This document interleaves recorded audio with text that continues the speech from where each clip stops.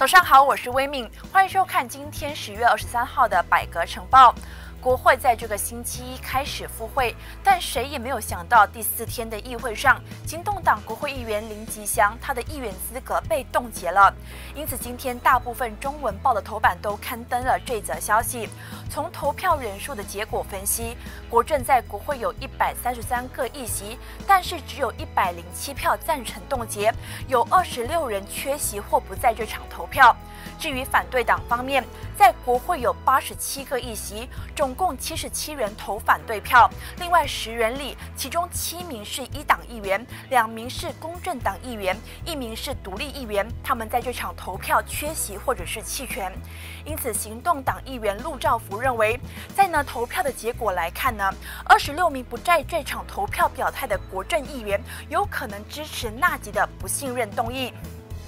不过话说回来，纳吉的不信任动议的最新发展是，国会反对党领袖旺阿兹沙已经提呈该动议给国会，国会也收到了。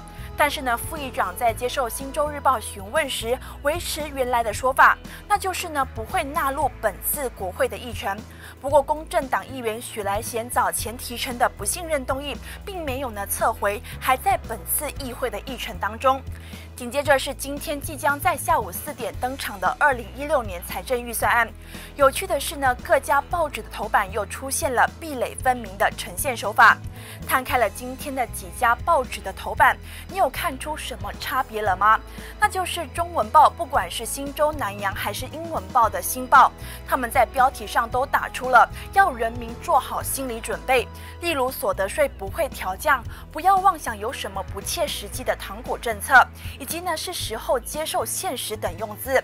不过，来到马来报的前锋报、每日新闻以及英文报的新海峡时报，又是另外一回事了。他们告诉大家，预算案照顾中产阶级，甚至是关照每一个人。即使国家收入受到石油和马币大跌的冲击，但是借由减少燃油津贴跟消费税带来的收入，维持呢照拂中低收入户。这两种壁垒分明的呈现手法，到底人民是被照顾到了，还是呢要做好心理准备面对现实呢？今天过了四点之后，我想大家心中自然会有答案了。来看今天的其他新闻。前首相东马哈迪在接受路透社访问时承认，要在二零一八年全国大选前将纳吉拉下台的机会很渺茫。这是因为呢，乌统的国会议员都在保护他们的领袖，并且要求其他党员不得发言。因此呢，大家便只是照顾自己的安全，不为党和国家的未来着想。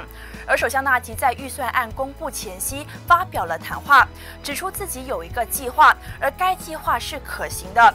因此呢，在还没有看到呢显著的效果之前，他不会分心。而纳吉口中所谓的计划，他虽然呢没有明确的表示，但他在文中呢则有补充说道：照顾国人的未来和福利是他优先要做的事情。所以呢，政府一直专注在加强国家经济的恢复能力，管理外部不确定因素的影响。那最后呢，提醒大家一下，百格时事今天晚上七点将为大家独家线上直播预算案的讲座，听听多位来。来自投资、税务等各领域的专家点评今次的预算案，大家可千万不要错过了。